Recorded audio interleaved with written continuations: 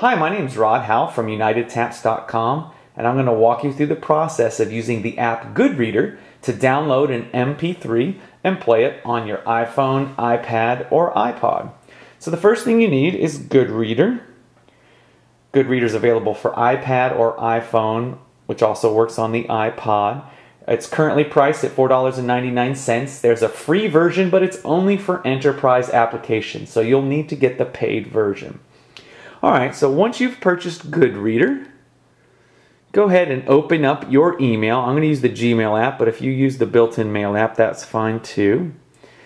And you want to navigate to the email you received from UnitedTaps.com that contains an MP3 file. In this case, uh, I have the well-being tap routine email, um, and it includes the music.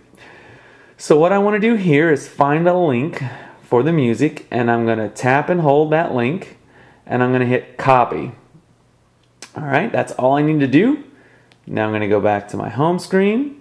I'm going to find the app Goodreader. You can see it right there. I'm going to open up Goodreader. And if your Goodreader opens up to the preview view, which is this right here, you're going to need to come down here and tap on Web Downloads. All right, from here, you're going to select enter URL. And the nice thing is it automatically pastes the URL. I just copied that link for the MP3. It pastes it in this little white field. So all I have to do is click OK. It's immediately listed the file and it's going to start downloading. You can see right there, well-being MP3. So we'll just wait for that to finish downloading and then we'll continue on. All right, you can see the uh, well-being download is finishing up here. There we go, it's done.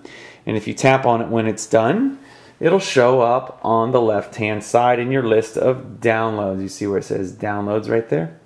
So under downloads, I've got my dictionary already downloaded. And right here is the well-being MP3. All I have to do is touch it in a nice little pop-up audio player with, uh, I've got a volume control down here pops up so I can play the music when I'm done. I just tap anywhere. Oh, I tap close, sorry. Let's try that again.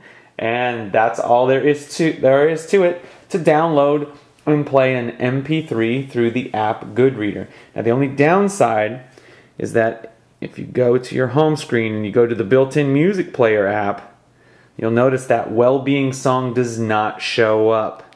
So unfortunately, the native music player doesn't notice the files that are downloaded in Goodreader. So to access the music, you'll need to go to Goodreader, which is not, you know, it's not too big of a deal. Just think of Goodreader as your special UnitedTaps.com app for the time being. All right, so that's how you download and listen to an MP3 using the app Goodreader. My name's Rod Howell from UnitedTaps.com, where we're teaching the world to tap dance.